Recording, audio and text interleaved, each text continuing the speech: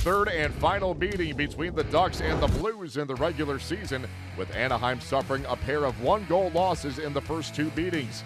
But the Ducks have been fond of the pond lately, with wins in five of their last six games on home ice.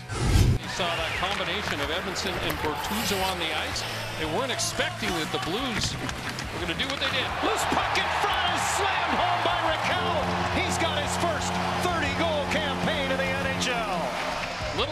into the corner, going back for it as Bouwmeester, and it was Getzlaf.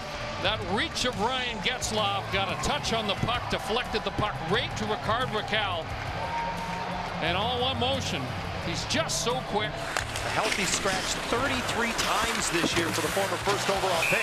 And down low, a nice little curl right back into the crease is covered as PRV nearly surprised Bernier.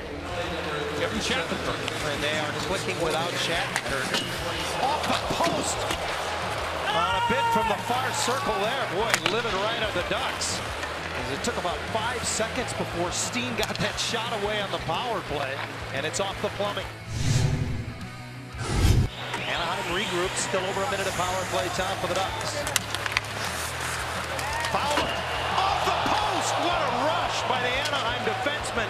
Inches away from making it two to nothing. Yeah, that's that's that skating ability of Cam Fowler and Manson steps in, knocks it loose. Cogliano off to the races. Parayko gets back, and Cogliano loses the handle. Now gets it back to Getzlaf. He scores! you see the smile on Getzlaf's face. It's because it's another turnover that leads to the scoring opportunity. Shorthanded, Cogliano's got great speed, but Parayko does everything right. Gets in the right spot. Then the Blues give the puck right back to Cogliano. He drops it for Getzlaf. And it is a perfect snipe up into the top corner. Loses it to Perry behind the net. Flat stripped it into Vermette. One-time shot. Big rebound off of Allen is cleared away. Botman left point. Middle of the ice, Fowler. His pass broken up. Nice defensive play by Schwartz, who now chases back into the Anaheim zone. Knocks it away from Getzlaf. Bernier to the rescue with a wonderful glove save. Well, this is the look what I found stop. By the activating defenseman Manson, but Upshaw able to get it back. Reads across the line to Brodziak. Spun around, he gets it away. That's off the post.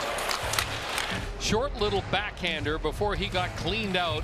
Actually goes right between the legs of Jonathan Bernier and out the other side. That's a tough break.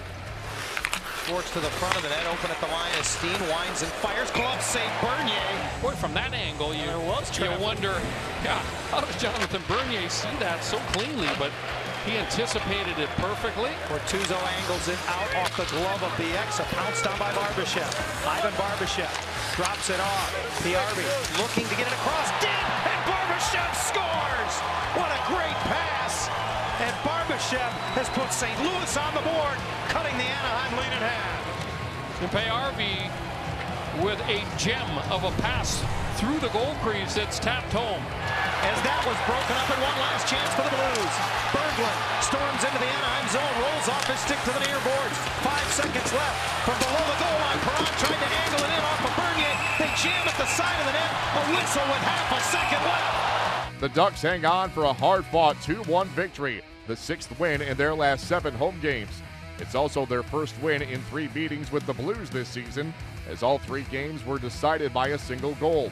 Ryan Getzlaf scored his second shorthanded goal this season after having gone three full seasons without one. The Ducks remain on home ice to host the Sabres on Friday night.